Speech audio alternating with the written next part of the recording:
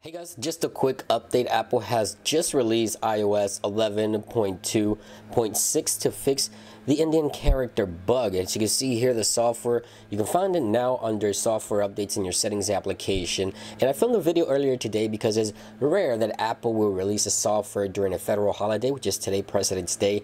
I didn't think this was happening or this was going to happen. And I've said in that video that we most likely see the software update on Tuesday or Wednesday. But it looks like Apple is pushing overtime in order to get us this fix today, which I'm pretty happy for. This uh, issue has been going now for a week. And the Indian character I'm talking about about in case you wasn't following my uh, previous videos is this one here. This will crash any application, whether it's messages, Safari, YouTube, wherever this character is present.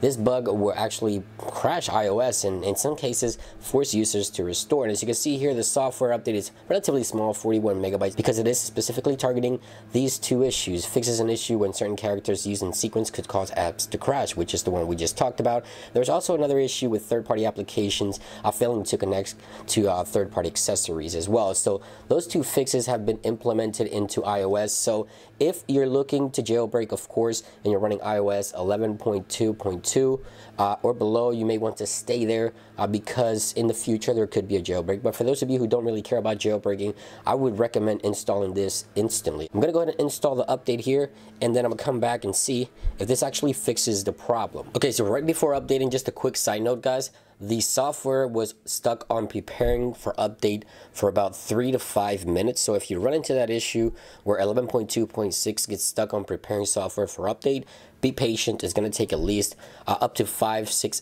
even seven minutes to update. Mine just finished, so let's go ahead and update now. All right, so my iPhone has been officially updated to iOS 11.2.6, which by the way comes in build number 15D100, and there it is. Software update has been completed. All we have to do now is test to see if this bug has been fixed. This radar uh, was submitted or this uh, issue was submitted on the 12th so it took Apple about a week to fix this.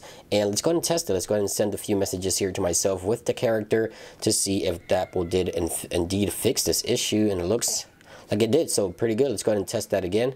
And let's send it one more time. We're going to paste this in Safari as well. Yep it looks to be fixed. Let's go ahead and paste this into the URL here in Safari and see what happens and yep it appears to be fixed. So that's pretty good news. This puts us right in line to see iOS 11.3 beta 3 tomorrow hopefully or the latest Wednesday. And by the way if you guys are running iOS 11.3 uh, beta 2 developer beta or public beta testing this bug did not affect you in case you weren't uh, aware of that. Hope you guys enjoyed this quick update video and I'll see you real soon. Peace